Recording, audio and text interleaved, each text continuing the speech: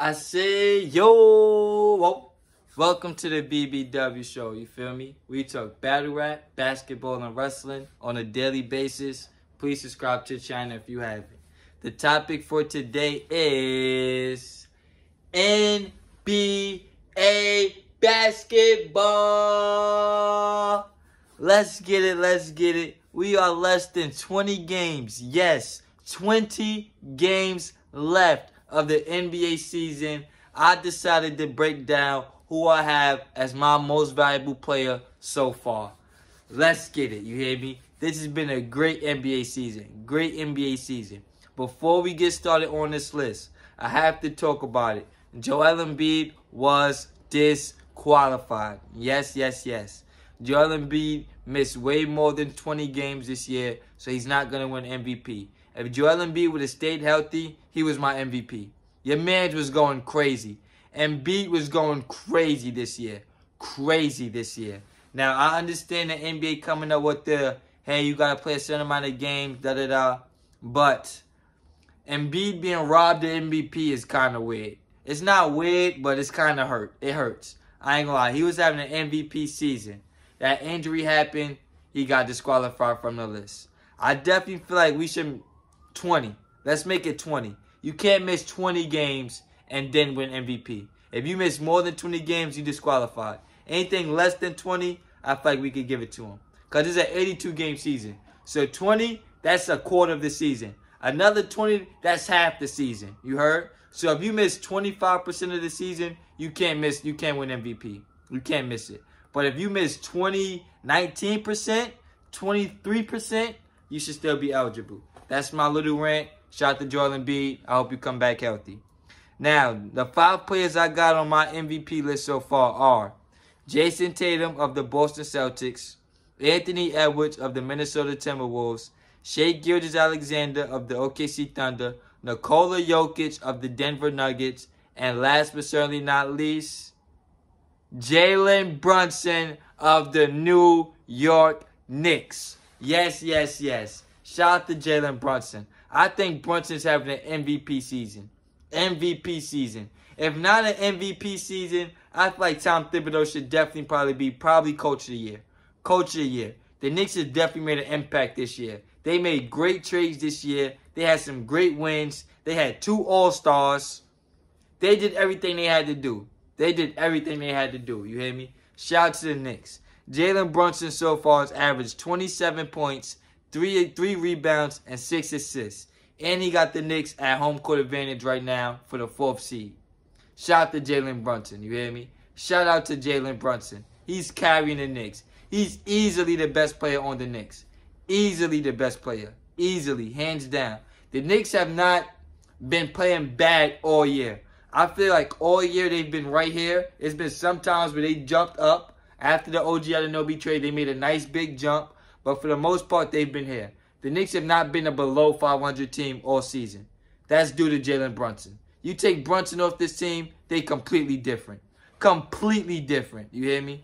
Shout out to Jalen Brunson. That's my number five. Number four, I have Shai Gilgeous-Alexander. Yes, yes, yes, I know. Shai is my number four. Right now, Shai's averaging 31, 5, and 6. 31, 5, and 6. And OKC's in the second seed.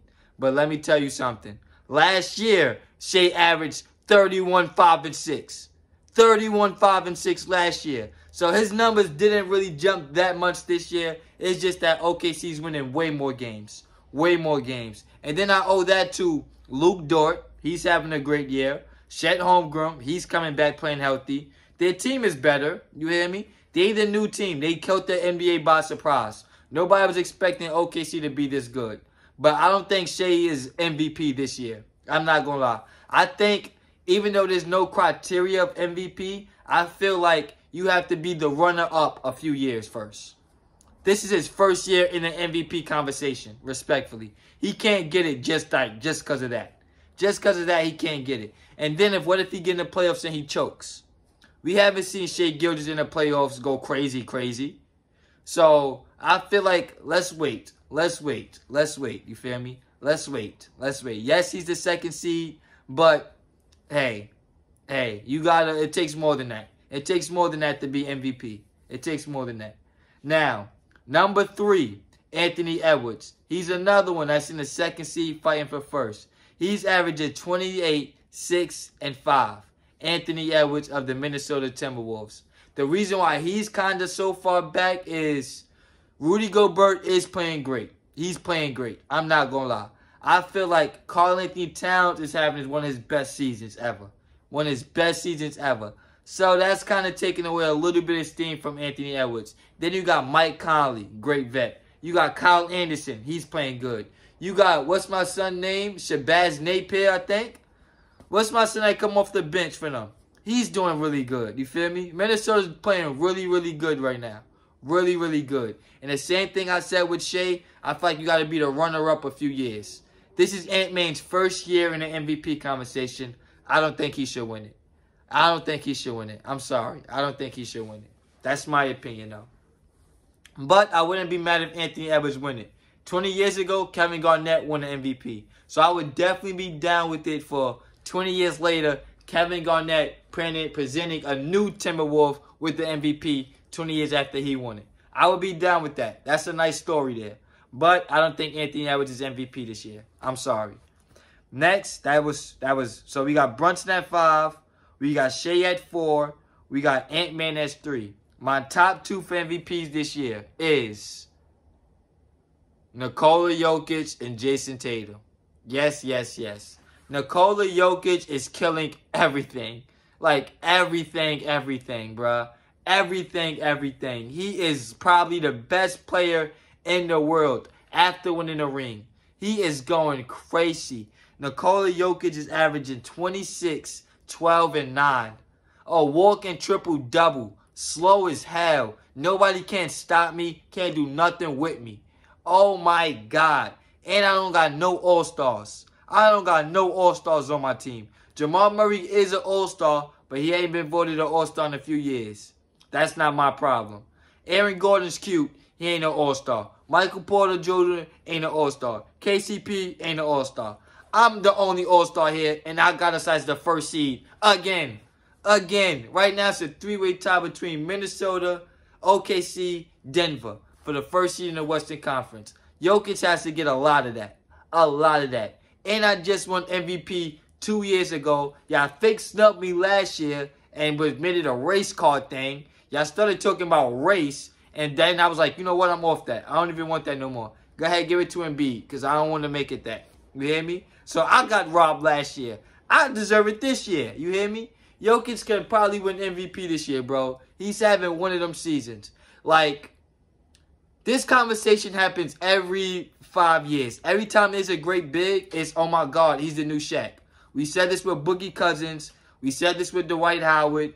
We said this with a few niggas. None of them got rings. None of them got rings. Boogie Cousins don't got a ring. Dwight, you got a ring later in your career. Y'all niggas didn't get rings in y'all prime. You hear me? He's that, bro. Nikola Jokic is that. Nikola Jokic is that. Now, Giannis can definitely be on here, but Giannis, you already got Dame Lillard. Y'all have definitely been... Y'all haven't been just all the way up here, you feel me? Denver's been great all year. All year. That brings us to last but certainly not least, Jayson Tatum. Jayson Tatum might be my number one pick for MVP. I'm not going to lie. He was a runner-up last year or a few years ago. He's been in a conversation. Jayson Tatum has the best record in the NBA. Fuck the conference. The Celtics have the best record in the NBA. That's all to Jayson Tatum. Jaylen Brown is very good. Porzingis is very good. Jrue Holiday is very good. You take Tatum off this team, they're not the number one in the A. They're not the number one in the A. They're not. Not only that, Tatum looks unguardable. Unguardable right now. There's been nights where it's like, yo, bro, he's having a bad shooting night.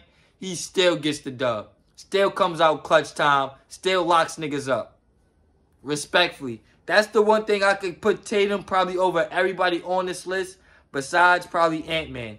Tatum's a better defender than everybody on this list. Tatum's a better defender than Shai. Tatum's a better defender than Brunson. Tatum's a better defender than Ant-Man. Tatum's a better defender than Jokic.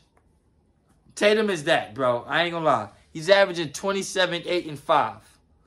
First seed in the NBA. I'm not mad at that. I'm not mad at that. All these guys on this list definitely deserve it.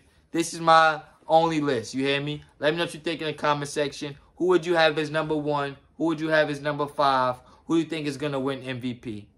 Like, that's my opinion. Let me know what you think in the comment section. Like, comment, share, subscribe. I'll be back with more.